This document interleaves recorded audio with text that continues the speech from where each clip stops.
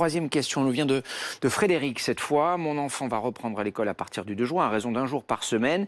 Que faire pour le garder les autres jours Oui, ça c'est vraiment la, vraie question. Alors, euh, le droit au chômage partiel est maintenu même après euh, le 31 mai, d'autant qu'on peut découper ce chômage partiel euh, en même en demi-journée depuis le, depuis le, 1er mai. Simplement, il faudra évidemment, si vous n'avez donc aucun autre mode de garde possible, fournir à votre employeur le certificat de l'école stipulant eh bien, que l'établissement ne peut pas le prendre davantage parce que, par exemple, vous ne faites pas partie des professions prioritaires comme les soignants, les pompiers et toutes ces euh, ces, professions prioritaires. Merci.